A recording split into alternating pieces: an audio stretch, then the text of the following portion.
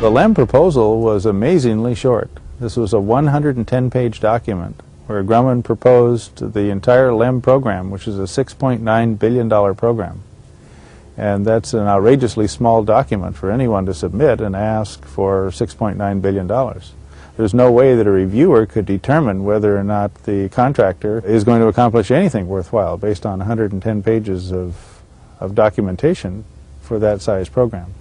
When I checked into uh, 10 other programs of similar size, like the C-5A and large submarine orders or, or uh, aircraft carrier orders, this type of thing, all of the proposals were between 5,000 pages and 86,000 pages, with an average of 38,000 pages. And yet we see this one standing there all by itself at 110 pages. And it appeared to be, to me, that this may have been a situation where they knew that if anyone checked, they would, someone would say, well, in order to win this, you had to submit a proposal, right? So let me see the proposal. So they had to produce a proposal, but they didn't go to the trouble of producing one of decent length. A 110-page proposal is about appropriate for a $1.4 million program, which is 5,000 times smaller than the claimed LEM program. Now you wouldn't need a very much a very long proposal if you weren't really going to build a LEM that really had to work. If you were going to be building LEMs that ended up in museums or on displays, then you could probably uh, do that for a few million dollars, and that might only require a 110-page proposal. If these moon landing images were faked, then how did we manage to acquire so many rocks? Core samples and lunar dust have been obtained by unmanned probes. The Soviets were particularly advanced in this technology, but there were supposedly many samples loaded onto LEMs and returned to Earth. The claim is that the Apollo program uh, collected uh, hundreds of pounds of lunar rocks, something like 750 pounds, some large amount of, of, of lunar rocks in the six missions. And I think that uh, only a few pounds were actually collected remotely by ourselves and in a similar manner by the Russians because we had an agreement before we went to the moon to trade lunar soil samples. We would trade soil from the sites that we visited, and they would trade samples from the sites that their robot craft visited and compare them.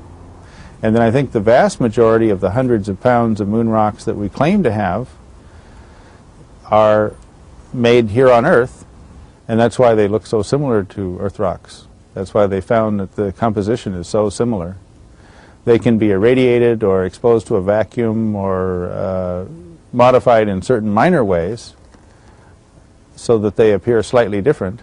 And then they uh, do an analysis and say, well, it's just like Earth rocks except for these few minor changes. And then they hypothesize that they were blasted by meteorites. Well, they can be blasted by meteorites artificially.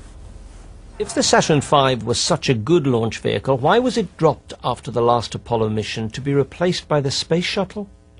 Why was a new launcher required when NASA supposedly had a tried and tested powerful rocket in the form of the Saturn V? The shuttle weighs about three quarters as much as the Saturn V, and it only puts about one-sixth as much weight into orbit, and it costs about three times as much as the uh, Saturn V to launch. It was flown, first flown, two years behind schedule, and it's cost a lot more than the Saturn V to develop. So in almost every measure of, of rocket technology, the shuttle is greatly inferior to the claimed performance of the Saturn V.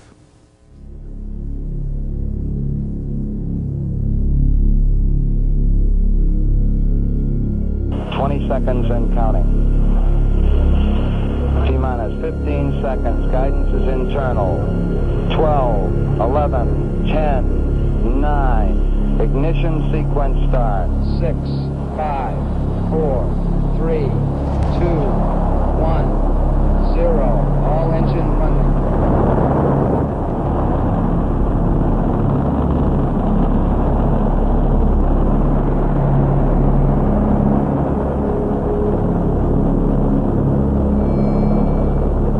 If Saturn V had worked, far and away the most logical thing to do with that hardware that was developed with billions and billions of dollars was to begin producing them because then the development cost gets amortized over the cost of all of the produced vehicles and use it to launch the shuttle. If they wanted to actually have a, uh, an airplane that goes into orbit, they could have put a shuttle orbiter on top of the second stage of the Saturn V and flown the, the whole thing into orbit.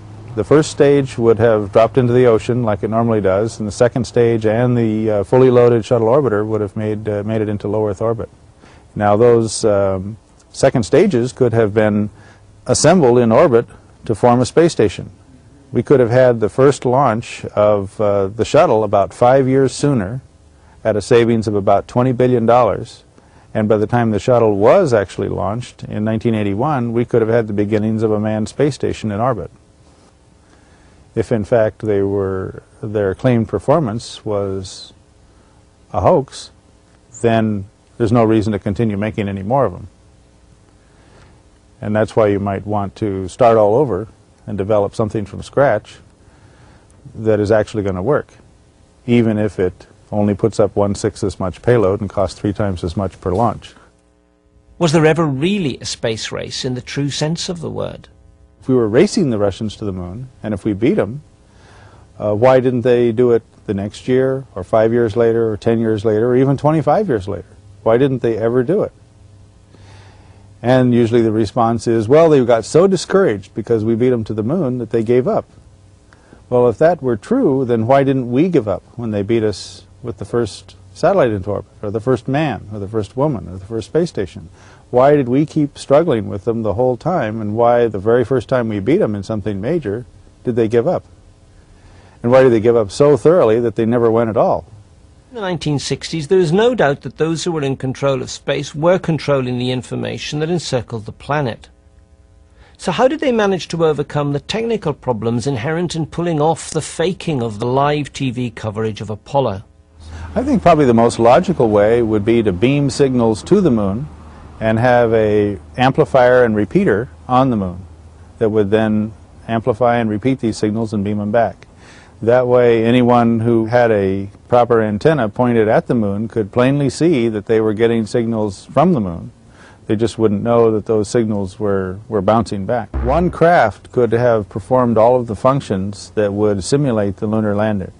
It could land on the moon with, its, with its repeater, um, and this craft could also uh, place a transmitting seismometer into the lunar soil that could continue to transmit back lunar quakes, which we received for quite some time.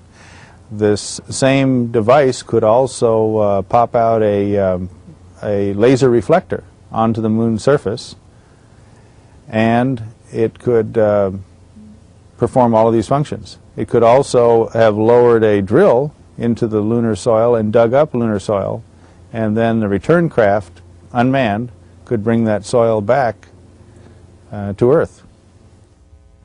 What was the prognosis for manned space travel beyond a low Earth orbit after the days of Apollo? The RIDE report goes a long way to answering that question.